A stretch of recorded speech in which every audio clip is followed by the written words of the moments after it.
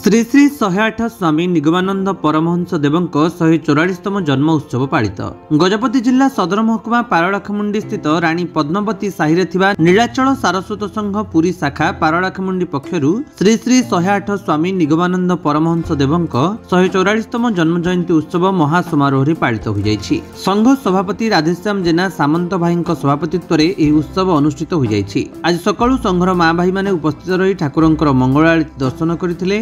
ଏହା ସହିତ ସ୍ତବ ସୂତ୍ର ବନ୍ଦନା ଶପଥ ପାଠ ସହ ଉପଦେଶ ପୁସ୍ତକ ଠାକୁରଙ୍କର ଜୀବନୀ ପାଠ କରାଯାଇଥିଲା। ଠାକୁରଙ୍କ ଭାବଧାରା ଉପରେ ଦୁର୍ଗା ପଟ୍ଟନାୟକ ଭାଇ ରୀତା ମା କୈଳାସ ପଟ୍ଟନାୟକ ଭାଇ ତ୍ରିଲୋଚନ ପଣ୍ଡା ଭାଇ ଭାବ ବିନିମୟରେ ଅଂଶଗ୍ରହଣ କରିଥିଲେ। ମା ମାନେ ହୃଦୟସ୍ପର୍ଶୀ ଭକ୍ତି ସଙ୍ଗୀତ ଗାନ କରିଥିଲେ। ଶେଷରେ ପ୍ରସାଦ ସେବନର ବ୍ୟବସ୍ଥା କରାଯାଇଥିଲା। ଆଶ୍ରମ ପରିବେଶରେ ଏକ ଆଧ୍ୟାତ୍ମିକ ପରିବେଶ ସୃଷ୍ଟି ହୋଇଥିଲା।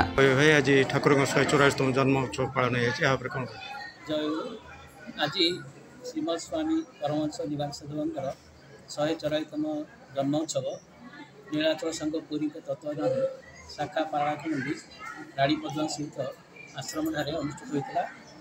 ଏଥିରେ ଶତାଧିକ ଭକ୍ତ ଭାଇ ଓ ମା ମାନେ ଏବଂ ଦର୍ଶନମାନେ ଉପସ୍ଥିତ ହୋଇ ଠାକୁରଙ୍କର ନୀତି ବାଣୀ ଶ୍ରବଣ କରି କିପରି ଠାକୁରଙ୍କର ଆଦେଶ ପାଳନ କରି ମୁକ୍ତି ନେବେ ମୁକ୍ତିଧାମକୁ ଯିବେ ସେ ବିଷୟ ଆଲୋଚନା କରାଯାଇଥିଲା। ତ ବିଶେଷ କରି ମନୁଷ୍ୟତ୍ୱ ଉପରେ ମନୁଷ୍ୟ କିପରି ମନୁଷ୍ୟତ୍ୱ ଭାବରେ ଚଳିପାରିବ। ସମସ୍ତଙ୍କ ଠାରୁ ସମସ୍ତଙ୍କୁ ଭେଦଭାବ ନ କରି ସମସ୍ତଙ୍କୁ ସମସ୍ତଙ୍କର ଅ, ଉପଦେଶ ଦେଇ ଠାକୁରଙ୍କର ଉପଦେଶ ମାନି କିପରି ଜଣେ ଏହି ଦେଶରେ ମଣିଷ ହିଁ ଭାତୃଭାବ ଜଗତରେ ସୃଷ୍ଟି କରିବେ ଏଥିରେ ବିଶେଷ ଆଲୋଚନା ହୋଇଥିଲା ଏବଂ ସମସ୍ତେ ଠାକୁରଙ୍କର ଏହି ଆଜି ଜନ୍ମ ଉତ୍ସବରେ ଖୁସିରେ ସମସ୍ତେ ଆନନ୍ଦ ଉପଭୋଗ କରି ବହୁତ ଜିଲ୍ଲା ଉତ୍ସବ ଉତ୍ସବ ଉତ୍ସବଟାକୁ ପାଳନ କରିଥିଲେ।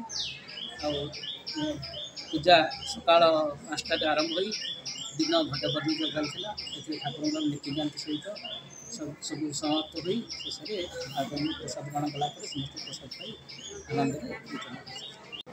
କ'ଣ କହିବେ ଆଜି ଠାକୁରଙ୍କର ଶହେ ଚଉରାଳିଶତମ ଜନ୍ମ ଉତ୍ସବ ପାଳନ ଆଜି ଶ୍ରୀ ଶ୍ରୀ ଠାକୁର ମହାଜ- ମହାରାଜାଙ୍କର ପରମହଂସ ପରିବାରକ ନିଗମାନନ୍ଦ ସରସ୍ୱତୀ ଦେବଙ୍କର ଶହେ ଚଉରାଳିଶତମ ଜନ୍ମ ଉତ୍ସବ। ଆଜି ବାଳାଖଣ୍ଡି ଶାଖା ସଂଘରେ ଅନୁଷ୍ଠିତ ହୋଇଥିଲା। ଏହି ଏହି ଶାଖା ସଂଘ ନୀଳାଚଳ ସରସ୍ୱତୀ ସଂଘ ପୁରୀଙ୍କ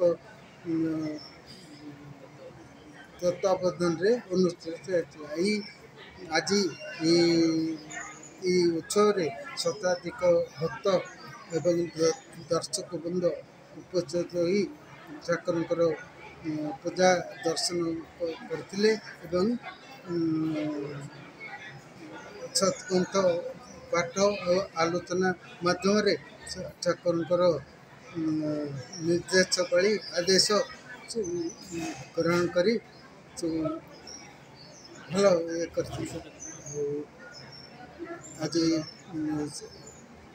ପୂଜା ସାଢ଼େ ଗୋଟେ ବେଳକୁ ପୂଜା ସାଙ୍ଗ ବାହାରି ହେଇଥିଲା ଏବଂ ଠାକୁରଙ୍କର ପ୍ରସାଦ ସେବନ କରି ସମସ୍ତେ ପ୍ରସ୍ଥାନ କରିଥିଲେ। ଗଜପତିରୁ ରେଣୁବାଳା ବେହେରାଙ୍କ ରିପୋର୍ଟ ବିଶ୍ୱ ବିଜୟ ନ୍ୟୁଜ୍ ଓଡ଼ିଶା।